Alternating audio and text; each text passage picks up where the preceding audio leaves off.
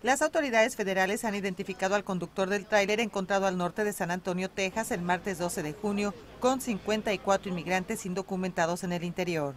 Special agents also arrested one U.S. citizen uh, who was expected to be charged with federal human smuggling violations. This individual's name is Gerardo Javier Carreon, a 36-year-old male from Laredo, Texas.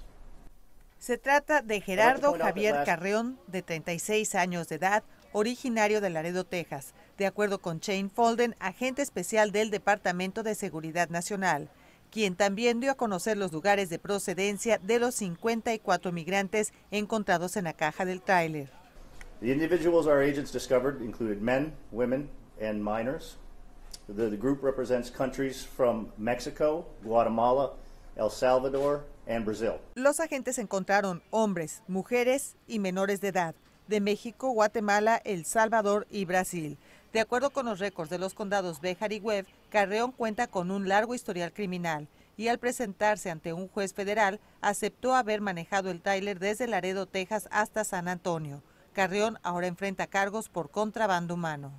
Mientras tanto, las decenas de personas encontradas en la caja del remolque continúan siendo interrogadas por las autoridades. So we ask that those wishing to enter the United States illegally think twice about making that decision. Folden hizo un llamado a quienes planean entrar a los Estados Unidos sin documentos para que lo piensen dos veces.